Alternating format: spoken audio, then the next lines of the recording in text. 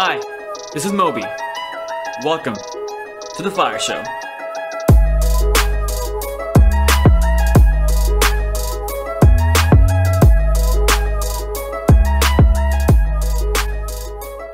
Hello, hello, hello. Today I'm sitting down with Melissa Huisman. She's the founder of Diamond Block Creative, a surprise! It's a creative agency that works with small businesses and startups to clarify their marketing strategy, fine tune their messaging and positioning, and then developing on brand assets, which I didn't know what it was until it turns out that is your visual identity, your websites, and engaging content. Pretty much everything on the internet. So, today in this episode, we talk about her perspective as a professional behind the scenes of what brands get right and don't get right in their marketing campaigns. We're going to be talking about how entrepreneurs in general can get too attached to their ideas and they can't take feedback or change. Why it's important to take a step back and look at the story that you're telling people about your brand before going in and just creating content which doesn't really fit your vision. If you enjoyed this, let me know at not that Moby on Twitter or Melissa at mk underscore h u i s on Twitter, on or Instagram. Next week, we're going to do a follow up episode with me and my friend Sujan Patel, author, entrepreneur, speaker, and friend. I said that twice, I don't care. And we discuss the next level of working with marketing consultants. What do you need to ask someone you're going to hire to help you on your marketing before you hire them? How do you tell their bullshit? Stay tuned and hope you enjoy this episode. Hi, this is Moby from The Fire Show, and we are in the startup studio at Galvanize, produced by MediaTech Ventures and North Shore Productions. I'm joined today by Melissa from Diamond Block, an agency, a creative agency. How are you, Melissa? I'm doing well. How are you doing? Good, and that was my radio intro. That was great. I love it. Uh, I, I learned. Tell me something good about your week. Oh well, it was actually my birthday this week, so Yes, yes. it was a, it was a great birthday week. Yeah, okay. Still celebrating. I'm having breakfast for dinner tonight with all my friends. Boom. Where are you going in Austin? Um, just my house. Oh, sweet. Yeah, keep Okay. it simple, you know. And then we'll go out probably. Okay, yeah. Rainy or something. Exactly. So uh, you were just mentioning it's been six months Yes. since you started your own thing. Yes. How is? Oh, we're gonna go super high level. How's that going? It's going well. I think it's uh, going slower than I thought Mm-hmm. because everything I always assume it's going to happen immediately, and it doesn't. But I'm learning a ton. I feel like every day there's a new challenge and learning as I go, Yeah. learning on the fly. What is Diamond Block? Diamond Block is an agency, and basically our mission is to cultivate potential. So, whether that be in leaders, in ideas, in existing businesses, in startups, in an existing brand, and a future brand, we're here to cultivate potential. And so, we're trying to pull out the existing things. We just believe that there's inherent potential in all people and in all ideas and in businesses, even if there's a challenge facing them. So we are trying to find what that little raw piece of nugget is, diamond block, if you will, and pull it out and pull the diamond out from within. Is that where the name came from? It is, yeah. Yeah, I, I've been stewing on it for a few years actually, and I, I kind of came up with this metaphor for a feeling I actually had with this intrinsic potential I felt inside of myself, but it wasn't fully realized yet. But it was this frustration I was experiencing because I knew what I was capable of, but didn't have a way to explain that to the world around me. And so I got this picture of this block with a diamond inside of it, kind of like a marble block with ancient sculptors who would chisel away and little things would start to peek out. So it's kind of like the diamond starts to peek out before you can see the whole thing. Uh-huh. People get little glimmers of the potential. They see a small success and praise you for it, but you're frustrated because it's not the whole thing. You're like, mm. okay, cool. You've seen a small bit of my potential, but you haven't actually seen everything I can do yet but I can't really explain that to you in words because you just have to see it happen. Mm-hmm. So it was it came, actually came out of a personal frustration that I was able to put into this metaphor, and then that's now expanded into my business and into kind of bringing that power to other people and to other founders and startups, and really helping them cultivate the potential and that I can see inside of them. That's a great story behind the name. Thank you. Yeah. I feel stupid because my podcast is called The Fire Show. I like the fire emoji. That's how it started. it was Austin, fire emoji, and show. Well, that makes sense. Sure, let's do that. Hey, we all have our stories, right? I know. I like the diamond emoji too, so Yeah. it's really cute. Yeah, and it's in the logo too.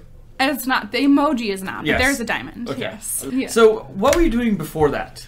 Before that, I was actually on the team at Sock Club here in Austin, and I was working as the creative brand manager. So basically, handling all things marketing and creative. Um, it's kind of this really unique role that I got to help create for myself there, uh, where I really brought the company through a time of transition where we went from working on the east side of Austin out of a house with six of us to moving into our first big office space off of Cesar Chavez. And it was this really interesting year and a half period of kind of becoming a grown up company in Austin and really establishing our legitimacy.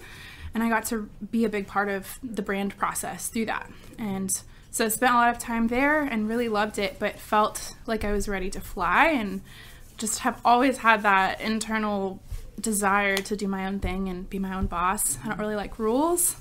So, uh, I when you mentioned for the first time that you worked at Sock Club, Mm-hmm. I went and followed the Instagram page of Sock Club and then Mm-hmm. the Facebook.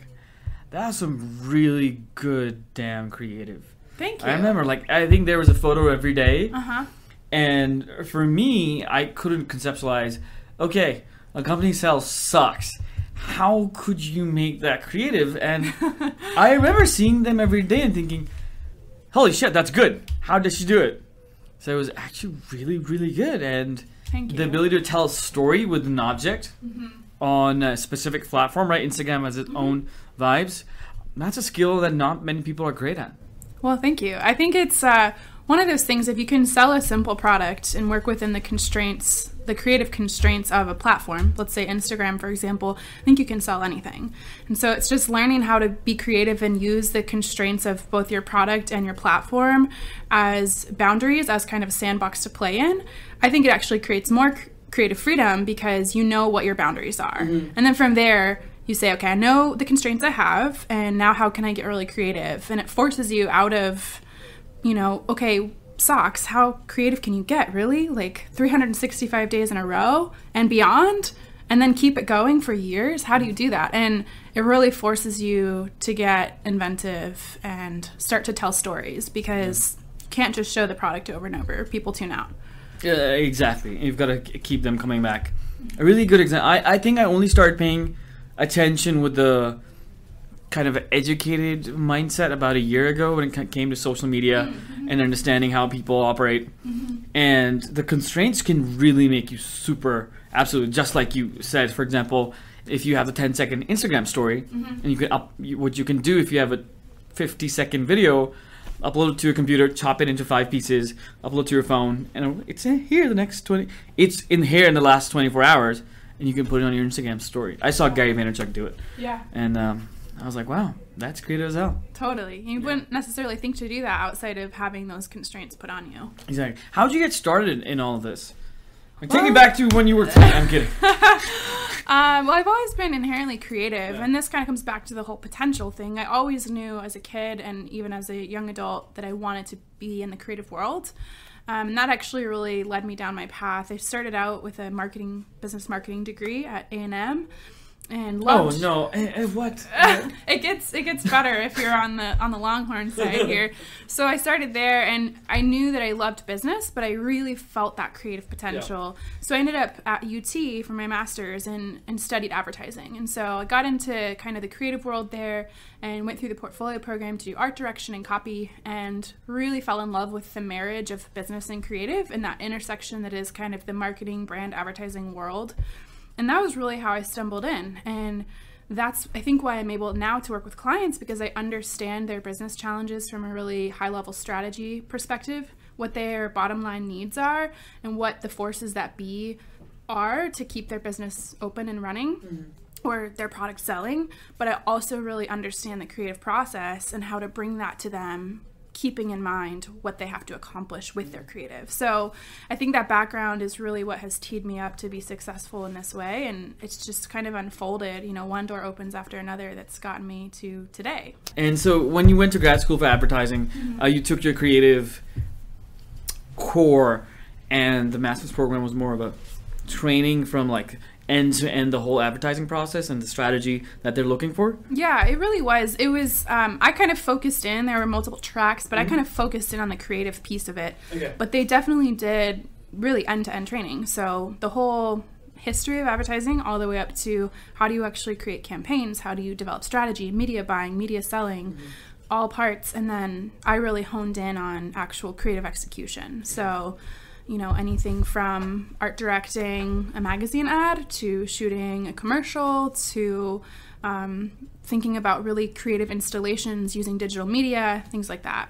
That's really interesting. I'm getting fascinated by that Yeah. more and more. What are some mistakes that people make when they just get into? For example, uh, if I start a brand and it's a magazine for young uh, millennials, the magic word, um, who are interested in arts, and I say I want to go start advertising, how should I even start thinking about that?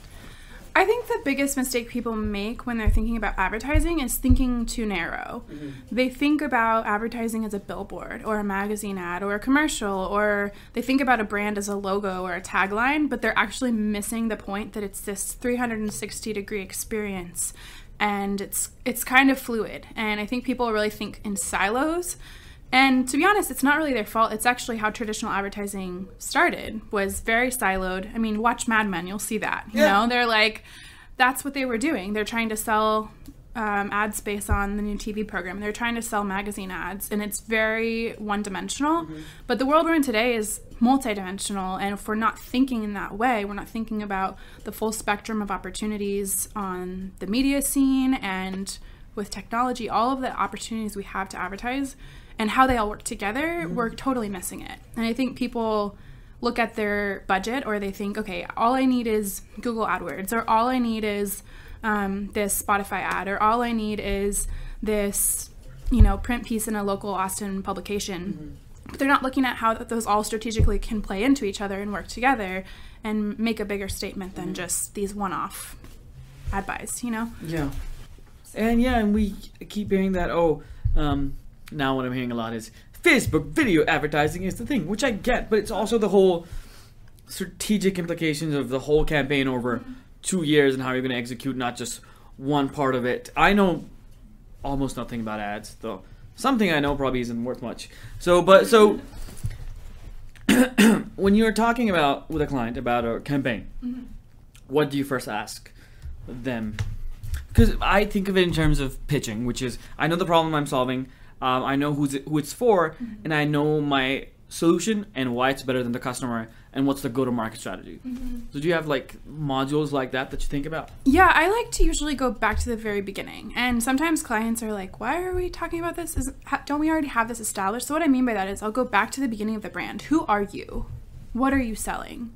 Because I think a lot of times brands actually don't even really know themselves that well. They don't mm-hmm. even really know what they're trying to accomplish. Or they think they're trying to sell this thing in this way, but they're completely missing this huge value proposition and what people actually buy their product for, or maybe why they actually engage with the brand. They're completely missing these insights because they haven't taken the time to study themselves. They're just so hung up on let's advertise, let's sell the thing, you know, so they can miss it. Um, so I usually like to take it a few steps backwards, even if it feels counterproductive, because I think it's usually worth the time to see if there are any uncovered insights that we need to pull out first. And then I like to go into execution last. So we spend a good bulk of time getting to know the problem, really doing some analysis with each other both for my sake and for theirs. I think it's a good reflection, but also for me to kind of learn their business, understand the challenges they're facing, so that I can actually give really tailored advice from an educated standpoint, not just saying, "Oh, I have a magic bullet for you. It's Facebook video ad. You must do it." You know? Yeah. But actually coming in with some valuable strategic advice given their real problem set. What they're facing. Understanding the customer. Right. I've asked a lot of people about what are some mistakes that entrepreneurs make. I don't know why I talk about mistakes all the time. Because I made so many, but um, a lot of it is just people create products um, just because they think they can and it's cool, and they don't think about desirability, which is do people want it? Yeah. And it's easy to lose complete touch with your customers super easy. Absolutely. Uh, Like so, Instagram, for example, um, they just did. Maybe this is more whatever growth hacking means these days. Um, but do you know how they got started? Instagram? Yeah, It was just a photo sharing. it was something else before, Yeah. and um, it was the photo sharing segment of it, which people came again and again, and they cut ninety five percent of the app and got back to photo sharing because they actually listened instead of saying, "We're gonna keep doing this until this company dies." Yeah, Yeah, and I think that's really important. And oftentimes, um, I mean, as entrepreneurs, our companies are our babies. We pour blood, sweat, and tears into these ideas. And so I think we have a really hard time, or we often can have a hard time, detaching our emotions or our own value from the idea itself. Yeah. And so then feedback can often be taken way too personally to the point where you're not willing to pivot or, or actually not willing to take that feedback mm-hmm. from the market or from a, another professional or consultant and you see resistance there. Mm-hmm. And then that really is the beginning of the end. You know when you're not willing to take the feedback to iterate you're not going to grow. Mm-hmm. And and that's a challenge you know even working with leaders and professionals. I come up with this challenge all the time people are like well this is how we've done it i've seen this work and it's like great the entire media landscape has changed in the Yeah. last five years you can't just keep doing what you've done it's not going to keep working the same so i think we have to be willing to take the feedback listen it sounds like Instagram has done that, and obviously Instagram is king in a lot of ways right now. They're killing it. You know, they've, in my opinion, opinion, are putting Snapchat in their grave. So Uh-huh. they're doing something right. They're doing something right. Yeah, there's a reason to go. We go back to it, right? Yeah, we're all addicted to it. Oh yeah. Oh yeah. I have no. I've had this phone for um, two months. No, no, no, no, no. Three weeks. Sorry. Mm. It feels old. Uh, it's funny how new things do that, right? Uh, Right. but um, I don't have any social media apps on this. Mm. I can post from it um, for on my Facebook page uh, and my um, Twitter through Buffer, Mhm. and I have no social media. So, like for example, last night I was at Brew and Brew, Uh-huh. and I was bored, and I pulled out my phone and I looked at him like, shit, I can't do anything on my phone because it is very addictive. They've built it that way. And you mentioned the media landscape changing over the last two years. It's also like when Snapchat became popular. It's now we're not used to that six second, ten second interaction, um, and people were able to tell a story over ten sets, uh, ten units Mhm. of that six to ten minute um, second story. Mhm. Those kill it Mhm. really well. And people who it's not a, necessarily an age thing, Mhm. but people who are set in their ways that make it one minute, thirty minute ad on TV don't see that, Mhm. and they can't adjust. It's true. And, you know, I think there's still some room for traditional media in the mix. I don't think that all traditional media is dead, but I do think as marketers and advertisers, we have to be paying attention to what's happening in the landscape and be willing to advise accordingly to clients and then try to bring our clients along with. You know, mm-hmm. that's it's a challenge, but I think a big key there is education and informing and saying this is why. I'm not just trying to make you change to ruin your life, you know. I'm just not being difficult for you. Right, Yeah. exactly. But I actually have a reason for this. Mm-hmm. So we've, if I'm a client, right, and I come up with this art magazine, we've talked about what I'm looking for. You talked about why this started, and so next you talk about goals. Yeah, usually, what are you trying to accomplish and how can I help?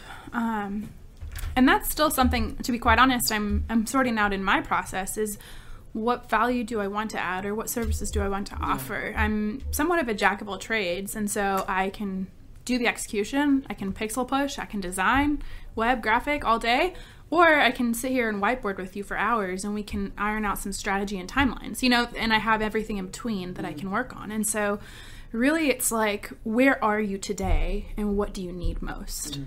And something I'm really adamant on is not trying to sell a client something that they don't need. Yeah. So, you know, like those senior picture packages they sell you where you get like 50 wallets and like four 8 by 10s and then like some other random sizes that you're never going to look at. Like, I don't want to be that senior photo seller that just gives you this package of junk that you're literally never going to use. You don't need 50 wallets, you mm-hmm. know? But I want it to be exactly the solution that my client needs. But of course, from a business operations standpoint, there's like the scalability of that. How can you do that and Yeah. repeat it? So I'm learning right now how to best meet the needs and, and really find what the consistent problem is Yeah. that I'm trying to solve And for. repeat that until it scales. Exactly, and, and start to identify what are the patterns I'm noticing from Yeah. founder to founder to founder or business to business. What are the different things that are consistent needs that are being expressed, Mm-hmm. and and what are the goals that need to be set? What are the challenges that need to be taken on? That's really interesting. I'm, I've been thinking a lot uh, about process Mm-hmm. and this idea that you should work on your business, not in your business, Yes, and even things like hiring or so basic but so important. so important. Yes. And uh, I just told this someone I set up a process for the podcast, which is that what I want to do is schedule the interview with someone, meet them, interview it, interview them, put in the intro, and send it over to the editor. Mm-hmm. And the rest, my assistant will take care of it. Yep. Um, and I wrote a whole, I think it was five pages. Then I cut it down, three pages, made two documents. Finally got an assistant. Fired her five days later. got a new one. Because that stuff is difficult. Like, and that's just one part of oper- operationalizing Yes. and scaling. Yes, and it's hard too as a founder. Again, like these projects are our babies, so Yeah. to let go of control, even if you could do it perfectly, you can't do it all perfectly all the time. So you have to be willing to kind of detach from some of those things and create.